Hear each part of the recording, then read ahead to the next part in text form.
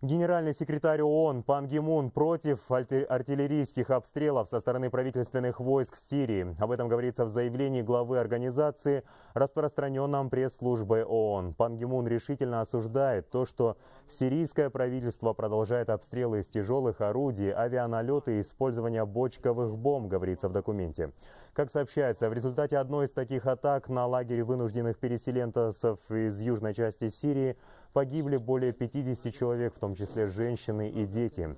Все гражданские лица должны быть защищены в любой ситуации, напоминает Генсек. Он обращается ко всем сторонам конфликта в Сирии с призывом прекратить насилие и сфокусироваться на поиске пути мирного политического урегулирования.